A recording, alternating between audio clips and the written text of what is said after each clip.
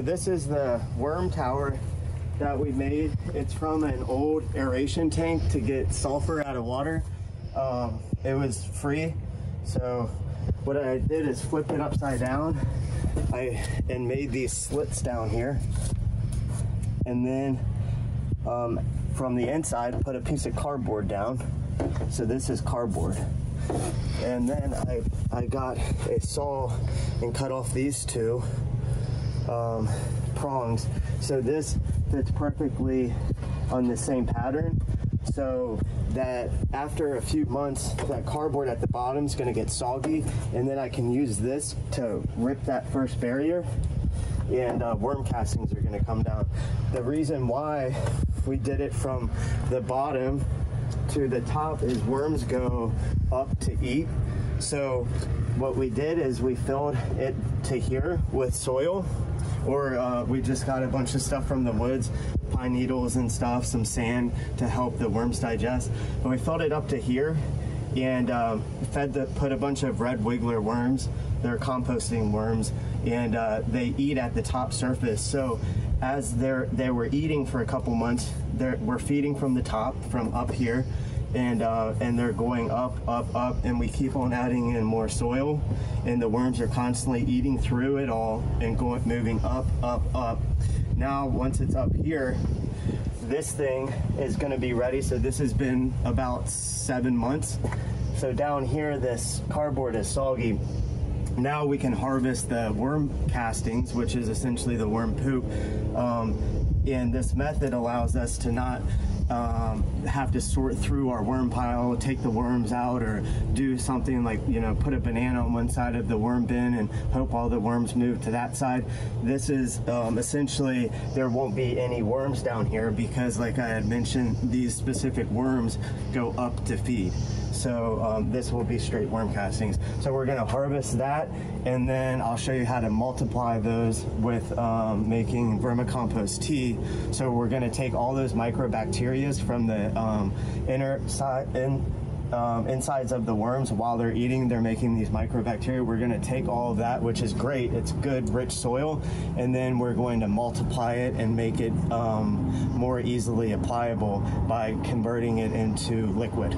Okay so now we are taking the worm castings and we're putting them in a bag. Usually you could do a cloth bag. This was the only bag I found laying around, but it's just to hold in um, the all of the um, debris so it doesn't fly everywhere. It didn't do too good job.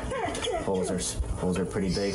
And then I put in aeration stones at the the bottom and these are usually for aquariums this is a little pump it um those are like 15 bucks on on amazon and then fill this five gallon um, up and then use this um, molasses to feed the it's sugar to feed the microbes. So when they're in there multiplying we let this sit for two days. They're in there multiplying and eating eating this sugar getting aeration. And then i also mix half a cup of rock dust azomite that um, um, that has tons of minerals and I mix that in there as well. Now what we're going to do is we're going to take this, use a hand watering can to water plants um, or you can plug it into a fertigation system where it sprays it all over your field or plants.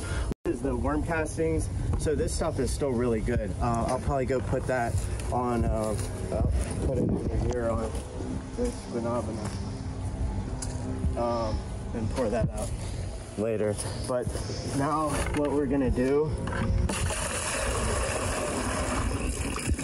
so with this, what I have over here is a, um, a fertigation system. So it with a Venturi, they're called, these pumps, they suck in um, while there's a there's a suction right here and it'll suck in this tube while there's pressure um, going out. So I have this um, fertigation system set up to my uh, my two areas of, um, of irrigation and it kind of is, a, is something in the middle between the well and the, the endpoint of the irrigation that I can plug in and then it's going to suck in the um, worm compost So that way it's all automatically done. I just let that run and then we're finished.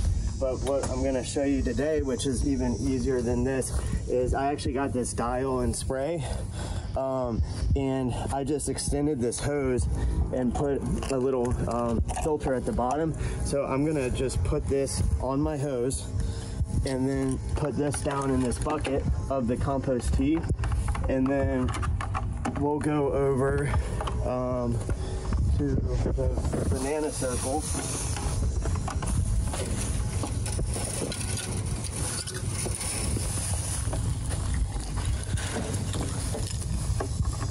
And then I'll show you now what this does, it has the same kind of um, the thing that I was explaining where it sucks it in. So you'll see the compost tea is actually going to go through this. I, I do it at um, an eight out setting. It's going to go through this.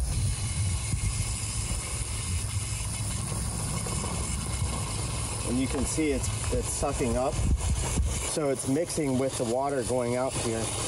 And what this is going to do then is spray all these microbacteria all over this.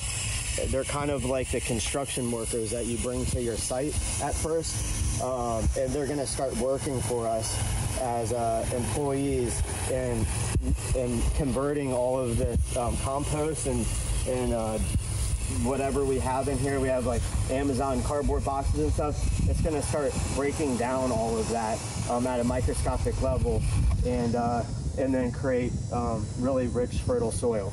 So less work for us, just work up front, and then um, we'll do that. We'll spray this once every like month or so.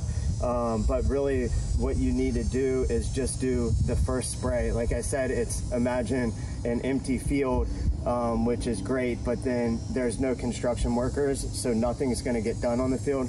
We're now introducing construction workers to start working the process. So there was already microbacteria here, as everywhere in nature, but now we're just spraying billions and billions um, all over the place. So we're, we're kind of bum rushing nature onto this this system right here. And we'll go and spray it on everything else in the food forest and uh, uh all over